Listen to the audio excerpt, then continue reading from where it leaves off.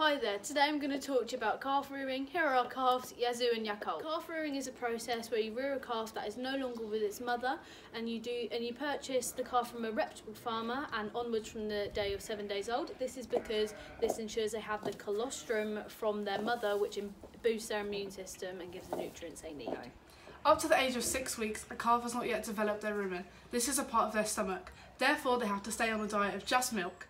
In order to prepare the milk, you have to make sure the buckets are clean, follow the manufacturer's guidelines and measure the milk properly, and mix the water hot and cold to uh, replicate the mother's temperature. These cows are currently having 4 litres of milk AM and PM and this is how we do it.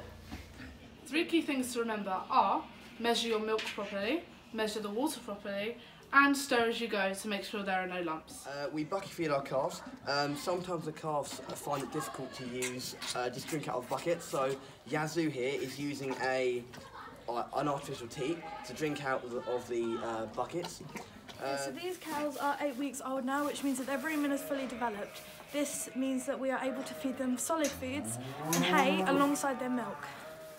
When rearing a calf, it's important that their accommodation is ventilated and it is important that they have soft bedding as well as lots of space to move around. This allows them to play and interact with other calves.